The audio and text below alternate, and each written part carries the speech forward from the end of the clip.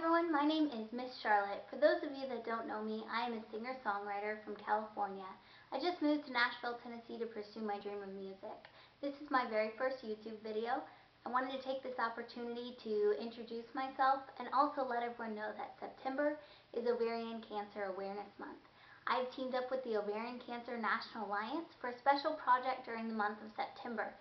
If you go to iTunes right now and download my song, I'm Still Here, 100% of the proceeds will go to the Ovarian Cancer National Alliance. So make sure to go to iTunes and download I'm Still Here. If you have any questions on ovarian cancer, please visit um, their website at ovariancancer.org. Or if you have any questions on me as an artist or would like to hear my music, please visit my website at misscharlottesweb.com or my MySpace. Make sure to say hello and add me as a friend. Thanks. Bye.